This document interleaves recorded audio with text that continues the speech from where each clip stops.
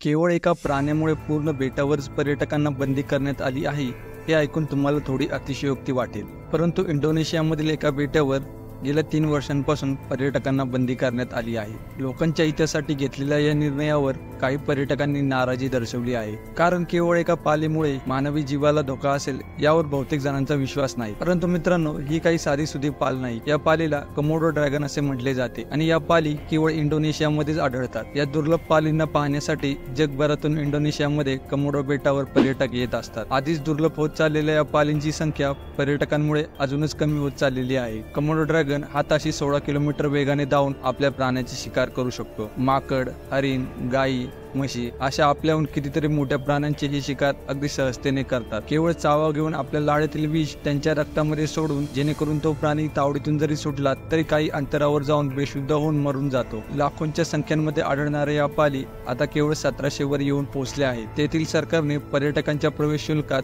दहा पट वाढ करून सुद्धा पर्यटकांचा ओढा काही केल्या कमी होत नव्हता. त्यामुळेच काही ठराविक काळासाठी कमोडो बेटावर हे निर्बंध लादण्यात आलेले आहेत. सर्व ऐकून तुम्हाला वाटत असेल या बेटांवर केवळ पालींचाच वावर आहे तर असे नाही. या बेटांवर एका गावात माणसांची वस्ती देखील आहे व हे गावकरी या पालींसोबत बिंदासपणे राहतात. कारण या पालींसोबत त्यांचे एक आध्यात्मिक नाते आहे असे सांगितले जाते. कमोडो ड्रॅगन हा प्राणी डायनासोरच्या काळापासून आपले अस्तित्व टिकून आहे असे मानतात परंतु याच्यामध्ये तथ्य किती हे वैज्ञानिकांनाच माहीत. कमोडो बेटावर आढळणाऱ्या या पालीने केवळ पाळीव प्राण्यांची शिकार नाही तर लहान मुलांवर देखील हल्ले करून त्यांना ठार केले आहे असे आढळते. तर मित्रांनो अशाच नवीन माहितीसाठी आपल्या चॅनलला नक्की सबस्क्राईब करा.